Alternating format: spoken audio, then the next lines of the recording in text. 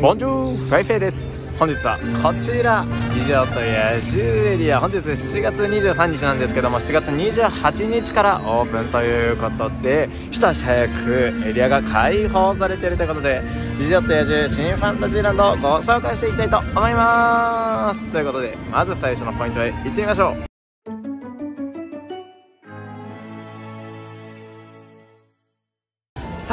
こちらモーリスのコテージでございます。ベルのお父さんのお家つまりベルのお家となっているわけでございますね。こちらモーリスのコテージファストパス発見場という風になってるわけなんですけどしばらくの間はアプリでのエントリー受付になるのでしばらくはこちら見るだけのお家になってしまうわけなんですけどもよく見てみると非常に細かく作られてるんですよね。細部にそのベルのお父さんモーリスの発明品らしさが出ている家になってたりだとか時折耳を澄ますとここから爆発音が聞こえるわけなんですよね。中中でモーリスが新しい発明品を作るためにいろいろ奮闘している様子が外からも伺えるわけなんですけどもその井戸だったりドアだったりいろんな部分に細かなこだわりがあるのでぜひともですね近くで見ることができますので近くに行って見てみてください。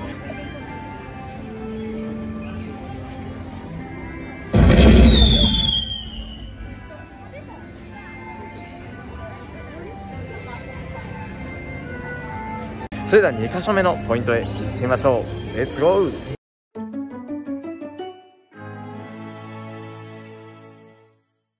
さあやってまいりました。こちらガストンの噴水があります。こちらガストンとルフーがある噴水。美女と野獣のお城と同じぐらい皆さん見たかったであろうこちらの噴水があるのがですね反対側にガストンの酒は、えー、ラタメルヌドガストンがありましてこちら反対側のこちらですね、えー、ベルデが書いていた本屋さんがあったりとかするこちらビレッジショップスリトルタウントレーダーだったりとかね、えー、ラベルリブラリーなどがあるこちらお土産屋さんなどがあるエリアという風になっておりましてこちらのガストンの噴水ふもとにはえメッセージが書かれてるんですけども街のみんなに心心地のいい贈り物を私からだよと言ってガストンガストンからの贈り物の噴水という風になっているのがこちらの噴水なんですけどもう一つ注目してほしいのが先ほど紹介した、えー、モーリスのコテージこちらとなってるんですけども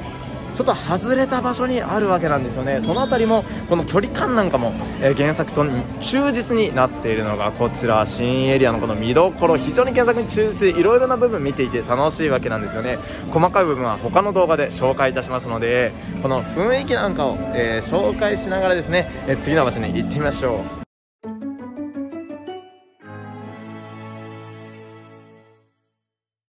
さあ続きましてやってまいりました。皆さんこちらが美女と野獣のお城でございます。素晴らしいですね。こちらの距離で始めるとより迫力が伝わってきますけども少し離れたこちらのところにはですね奥側にこちらに広がっているのがブドウ畑なんですけどこちらガストンのお酒作るブドウ畑だったりとか後ろにはねこのように先ほどの、えお店がつながっているわけなんですけども上見えますかね？こちらの看板のところに、えミュージコ A&M と書かれてるんですけどもこちら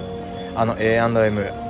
アラン免許を示していると言われているわけなんですね。こちら中にはですねガストンが練習するための合唱団の楽器なんかも置かれてたりとかするわけなんですけども何よりも一押しなこのお城早速見てみましょう。こちらです。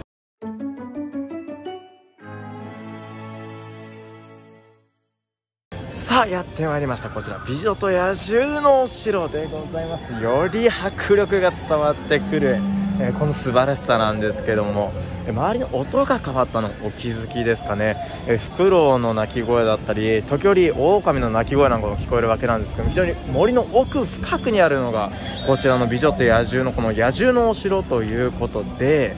え、周りのこの動物たちの鳴き声なんかも変わってきてるわけなんですけどもすごいお隣にはこちら荷車。原作に登場したこの荷車なんかも見ることができるということで非常にこの美女と野獣の世界観に浸れるいろんな部分にこういうのがあるわけなんで早速他の部分も見ていってみましょう。こちらが、えー、アトラクション入り口となってるわけですね。こちら霧なんかもかかって、えー、周りの様子がですね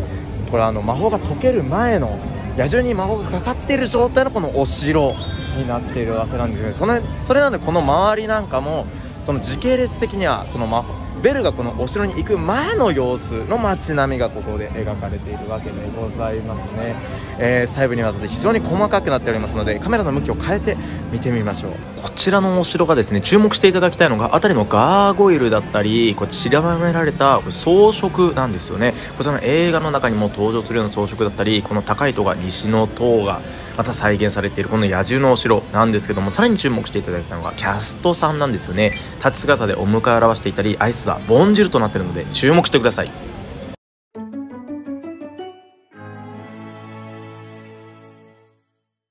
さあ景色が変わりましてこちら後ろに美女と野獣のお城がありますけどその右側奥側実はこの新ファンタジーランドこの美女と野獣のお城だけではないわけなんですよね。右側もうちょっと奥進めるわけなんですけども他に進んでいきますとこのような通路が広がっているわけなんですね。えこちら側にはですねこうちっちゃい滝が流れているこちらも素敵なフォトスポットとなっているわけなんですけどももう少し奥へ進んでみましょう。ちなみにこちらからの眺めこのような感じとなっております。ドン。素晴らしい景色ですね。こちらもまた。さあというわけでもっと奥にやってきました。こちらがファンタジーランドフォレストシアターでございます。まだ中に入ることはできないんですけど BGM だいぶ変わってまいりました。今流れてるのが「リトル・マーメイド」の「パート・オブ・ヨワールド」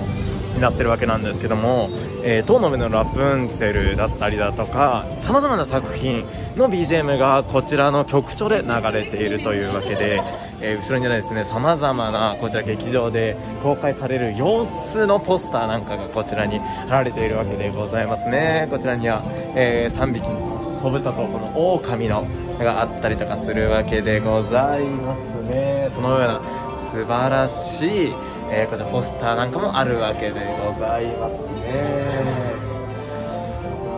おっと、えー、あまり触らない方がいいですね。というわけで、えーまた元の場所に戻ってみましょう。さあというわけでこちら「美女と野獣新ファンタジーランド」をざっくりとご紹介させていただきました。是非とも皆さん現地に来て自分の足で回ってさまざまな部分で細かく見てみるといろんな発見ございますので是非とも楽しみに、えー、こちら来てみてください。それではこちら新ファンタジーランドざっくりとどんなような場所なのかご紹介させていただきました。ボジュー。